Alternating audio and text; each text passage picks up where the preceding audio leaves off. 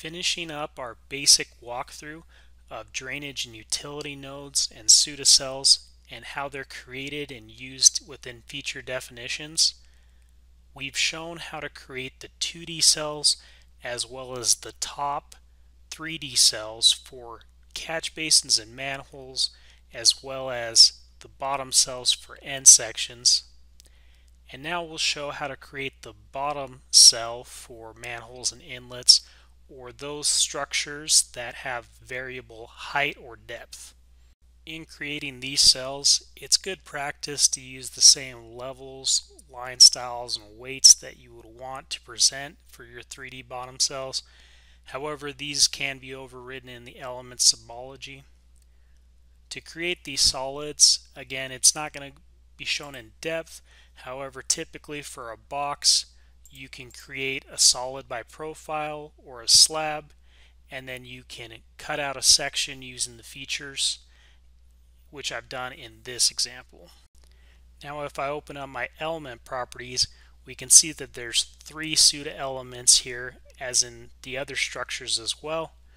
The first one is the alignment point that you can see. This is going to tie it to the 2D as well as the top if applicable.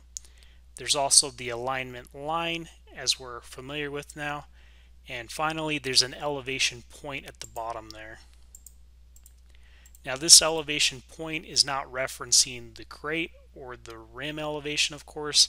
This is the invert, and this will match what is in the utility or hydraulic model, as well as when you place a box, it's controlled by the invert, and this is the point that will be used this can be heightened or shortened by this point, and so it'll simply extrude or contract it.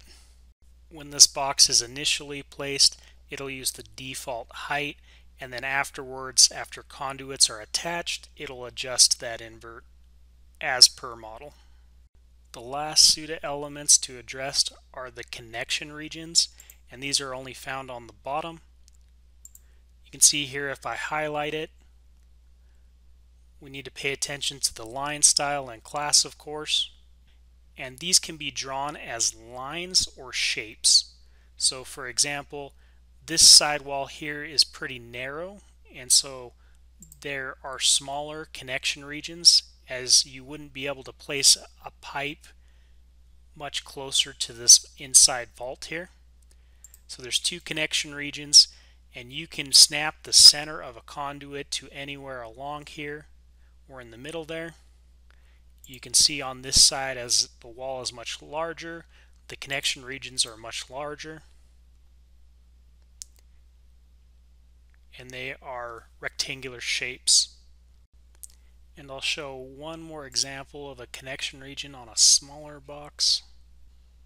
On this, for example, instead of a rectangular shape, there's just a line drawn and so a conduit connecting to either any of these walls will have to connect into the center. Lastly, other shapes can be used such as a cone or a cylinder, for example in a circular manhole.